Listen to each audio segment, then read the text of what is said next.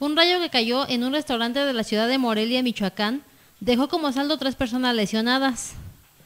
Los hechos se registraron al filo de las 20 horas en el restaurante ubicado sobre la avenida Camelinas del fraccionamiento Las Américas, al oriente de la capital michoacana, cuando la descarga eléctrica cayó en la ventana y provocó lesiones por cortaduras de los cristales a las tres personas. En el lugar cenaba Danae Pacheco Mata, de 31 años de edad, quien recibió múltiples heridas cortantes por vidrio en la cara, cráneo y tórax. Ahí también se encontraba María Elena Núñez González, de 43 años de edad, quien sufrió heridas cortantes en la cara y brazo derecho.